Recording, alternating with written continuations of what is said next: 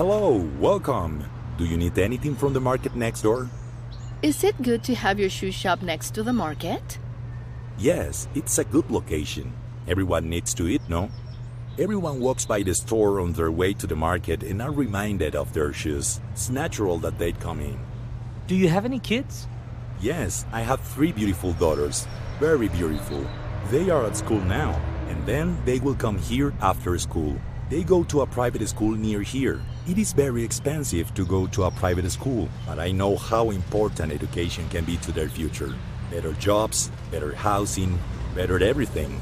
I didn't get past primary school, and I hope for a better life for my daughters. In this area, the majority of children attend school past the primary grades, and that is good for my daughters as well. What is it like to live in this neighborhood?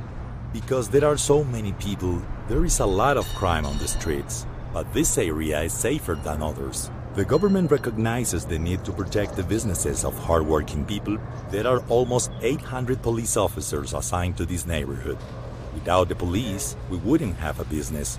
Without a business, my family and I would not eat. How densely populated is this neighborhood? It is very crowded. Do you know how many people live in Los Angeles? Here in Mexico City, there are nearly 25,000 people per square mile. That is four times greater than in Los Angeles. Four times as many. Can you imagine?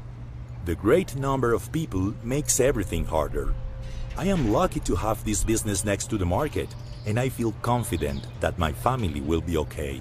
I am able to take care of my beautiful, beautiful daughters.